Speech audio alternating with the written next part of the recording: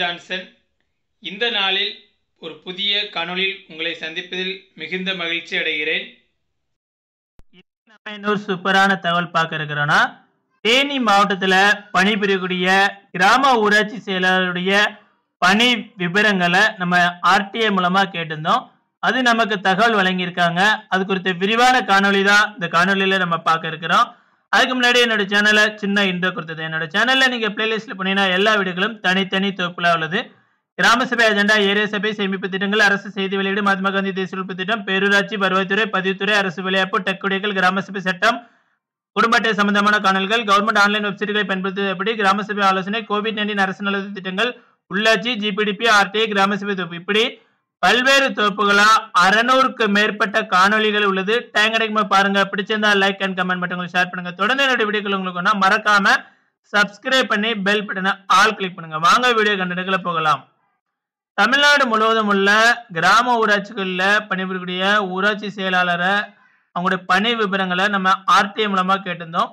ஒவ்வொரு மாவட்டம் வாரியா நம்ம வந்து நம்முடைய சேனல்ல தொடர்ந்து வெளியிட்டு வர்றோம். ஏற்கனவே வெளியிட்ட அனைத்து தகவல்களும் வீடியோட டிஸ்கிரிப்ஷனில் கீழே இருக்கும்.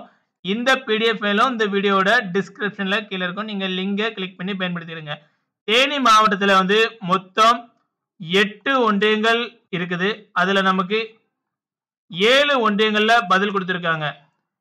ஆண்டிப்பட்டி சின்னமனூர் கே ம மலடம்பரை அதில் கொடுக்க அந்த ஒன்றியத்தில் தகவல் தரல.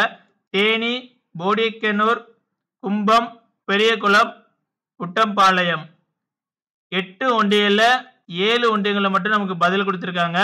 அதில் எனக்கு ஒரு ஒன்றியம் ஒன்றோ ரெண்டு ஒன்றியங்கள் மட்டும்தான் பதில் திருப்திகரமாக இருக்குது மற்ற ஒன்றியங்களில் முழுவதும் எனக்கு திருப்தியாக இல்லை.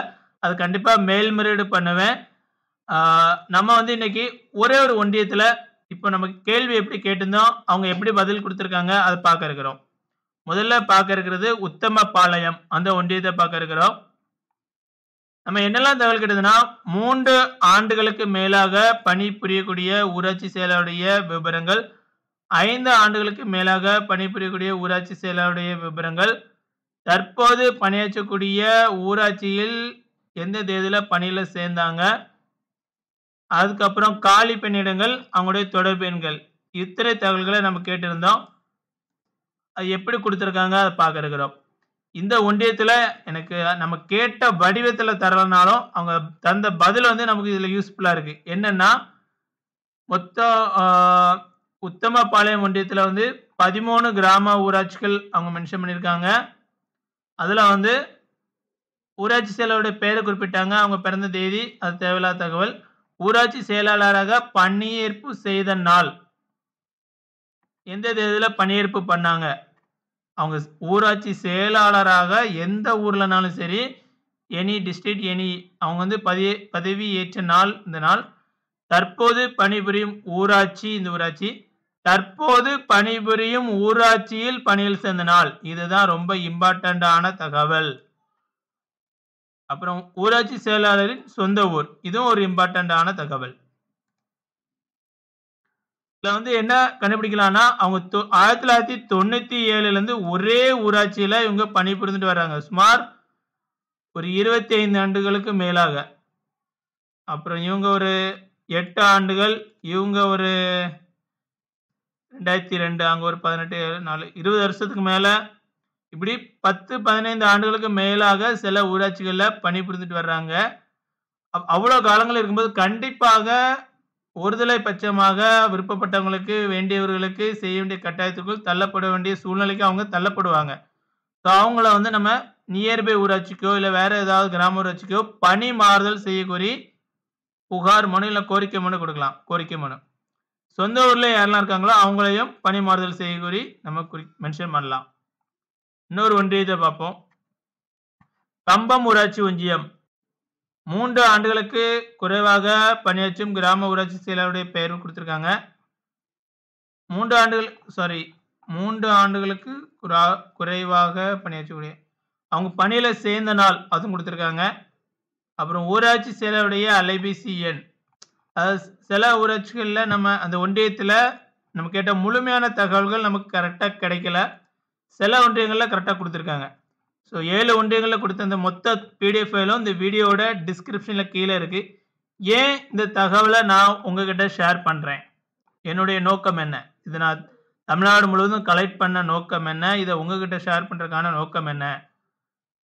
எந்த ஊராட்சிகளில் மூன்று இல்லை ஐந்து ஆண்டுகளுக்கு மேலாக தொடர்ந்து ஒரு ஊராட்சி செயலர் பணிபுரிந்துட்டு வராங்களோ அவங்கள பணி மாறுதல் செய்யக்கூறி கோரிக்கை மனுவில் குறிப்பிடணும்.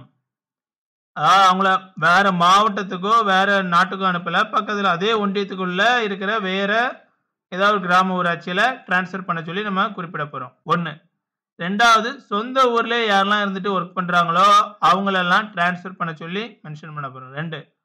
காலி பணியிடங்கள் எந்த ஊராட்சியெல்லாம் இருக்குதோ அந்த தகவல் தந்ததில் பார்த்து அந்த இடங்களெல்லாம் நிரப்ப சொல்லி மென்ஷன் பண்ணுங்க. மூன்று. யாருக்கெல்லாம் அரசு சார்பில் சியூஜி நம்பர் கொடுக்கலையோ சில ஒன்றியங்களில் கொடுத்துருக்காங்க சில ஒன்றியங்களில் கொடுக்கல. இப்போ இந்த ஒன்றியத்தில் கொடுத்துருக்காங்களா? ஆ கொடுத்துருக்காங்க. Nine three eight four zero அந்த நம்பர் வந்து கொடுக்காத ஒன்றியங்களில் கொடுக்காத கிராம ஊராட்சிகளில் உள்ள ஊராட்சி செயலருக்கு அரசு சார்பில் அந்த சியூஜி நம்பர் வழங்க கோரி கோரிக்கை வைக்கிறோம். நான்கு கோரிக்கைகளை நெடுங்காலமாய் பணியாற்றக்கூடியவங்க சொந்த ஊரில் இருக்கிறவங்க காலி பணியிடங்களை நிரப்புறது சிஜி நம்பர் கொடுக்க சொல்லி யாருக்கு மனு அனுப்பணும்? வட்டார வளர்ச்சி அலுவலர் அதுக்கப்புறம் உங்களுடைய ஊரக வளர்ச்சித்தினுடைய உதவி இயக்குனர் மாவட்ட அளவில் இருப்பாங்க. அடுத்தது மாவட்ட ஆட்சியர் மற்றும் ஊராட்சிகளின் ஆய்வாளர் மூன்று நான்கு சென்னையில் உள்ள டைரக்டர் இந்த நாலு பேருக்கும் அனுப்புங்க. தற்போது தேர்தல் விதிமுறைகள் இருப்பதனால தேர்தல் விதிமுறைக்காரர்கிட்டே உங்களுக்கு மாற்ற முடியாதுன்னு சொல்லுவாங்க. தேர்தல் விதிமுறைகள் முடிந்த பிறகு நினைவூட்டல் மனு அப்புறம் ஒரு பதினஞ்சு நாள் கழித்து தகவல் அறியும் உரிமை சட்டம் மூலமா உங்க மனுவுக்கு என்ன நடவடிக்கை எடுத்திருக்காங்க அப்படின்னு சொல்லி நீங்க கேட்டு சக்ஸஸ் பண்ணி அந்த தகவலை எனக்கு ஷேர் பண்ணீங்கன்னா கண்டிப்பாக நம்மளோட சேனலில் ஒரு காணொலியாக பதிவிடுவேன். இப்போ இதில் ஒரு இன்னொரு டிப்ஸ் கொடுக்க விரும்புகிறேன் என்ன டிப்ஸ்னா உங்கள் ஊராட்சி செயலாளரை பணிமாறுதல் செய்கிறதுக்கு மூவ் பண்ணாதீங்க. உங்கள் ஒன்றியத்தில் உள்ள எல்லாரையும் பணிமாறுதல் செய்கிறதுக்கு மூவ் பண்ணுங்க. இல்லை உங்கள் மாவட்டத்தில் இருக்க எல்லாரையும் டிரான்ஸ்ஃபர் பண்ண சொல்லி நீங்கள் மூவ் பண்ணுங்க. ஒரு நபரை சுட்டி காட்டும் போது உங்களுக்கும் அவர்களுக்கும் பகை இன்னும் கோபம் தனிப்பட்ட பிரச்சனைகள் எழும்பும்.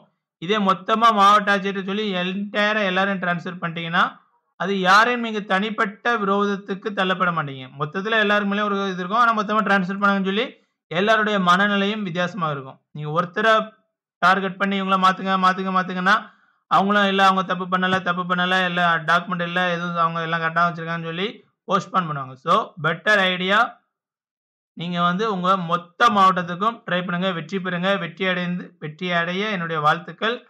இந்த தகவல்களை தேனி மாவட்ட சுற்றியுள்ள கிராம நண்பர்களுக்கு இதை பார்க்குறவங்க ஷேர் பண்ணுங்க.